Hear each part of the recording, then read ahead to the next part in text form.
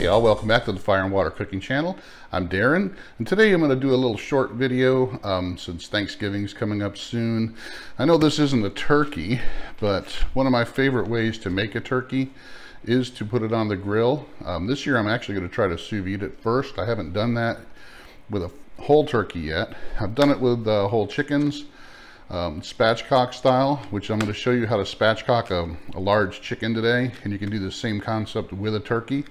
But I'm going to go ahead and uh, do that. This is a big uh, Kirkland Costco chicken, about uh, five five pounds or so. Um, so you'll get the concept of how you can do this with the turkey by me showing you how to do this today. It's really hard to cook a turkey um, to where everything is cooked to where it needs to be uh, by cooking it all at once whole. Either your white meat's going to be overcooked and dry or your dark meat's not going to be cooked enough. So I'm going to show you how spatchcocking can actually help you cook your turkey pretty pretty well all around. So I'll be right back. Let me get this out of the packaging, wash it up a little bit, and uh, take a quick minute. All right, I got it all cleaned up. I got the guts out of it, and um, my hands are washed clean. And got a pretty, like I said, this is a pretty big chicken. So you can practice on a chicken a couple times before the big day for Thanksgiving if you want to. Um, or you can do a smaller turkey. But um, it's pretty easy. I mean, you just take your whole turkey, and what you want to do is you want this to lay out kind of flat when you're cooking it so that the breast meat and the thigh meat and the legs all kind of cook evenly. So what we're going to do to achieve that is we're going to flip this over on its stomach. So we got the backbone facing us. You can see that. We got the backbone and the wings are kind of, the legs are pointed towards us. And all you're going to do, is you can either take a sharp knife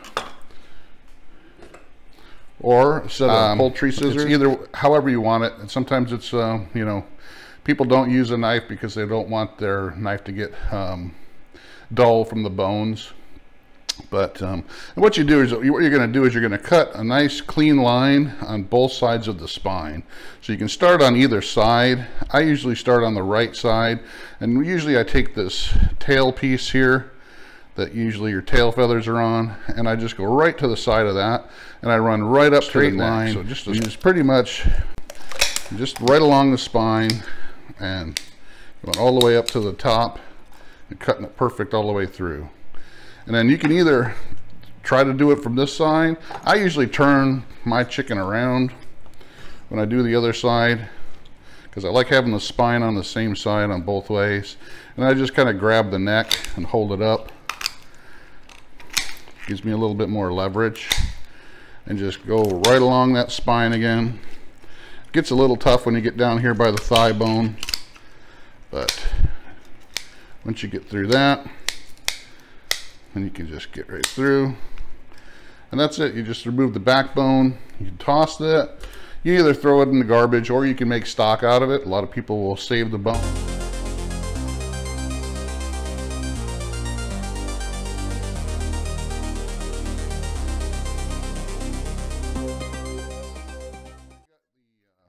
Your breast cavity here is all exposed. You've gotten rid of that backbone, but it still won't lay out flat because the breastbone's intact and it's kind of holding the chest in a certain way. So what you want to do is take your sharp knife and just kind of push it right down in the middle. Just a little bit, It doesn't have to be all the way through. You don't want to cut it in half. Flip it back over and then just kind of push it down in the middle. And this will make it flatten right out. And then you see you can tuck your uh, wings underneath and then push it down. And now as you can see that chicken is going to lay pretty flat when we're cooking it. And what that'll do like I said it'll allow your different white meat your dark meat all to kind of cook evenly. So you'll get a nice even cook the whole way through. It won't dry out your white meat. It won't undercook your dark meat kind of want it to be all cooked and done at the same time. So that's how easy it is to spatchcock a chicken. I know a lot of people, once they first uh, hear that word, they don't they don't really know what it is, what it means, but uh, it's really easy to um, to do. Once you learn how to do it, you probably won't cook chicken any other way. I unless you're putting on a rotisserie, um, I don't see a reason to keep a chicken or a turkey whole um, just because of the fact that you're not going to benefit any anyway, just maybe the way it looks, but I'd rather it cook evenly all the way through than have it look a certain way. So hope this video helps you guys out. That's it for this one. I'm going to go ahead and do another video right now to show you how we're going to cook this up. So look out for that video. Make sure you like this video, hit the uh, bell for notifications for more videos, and subscribe.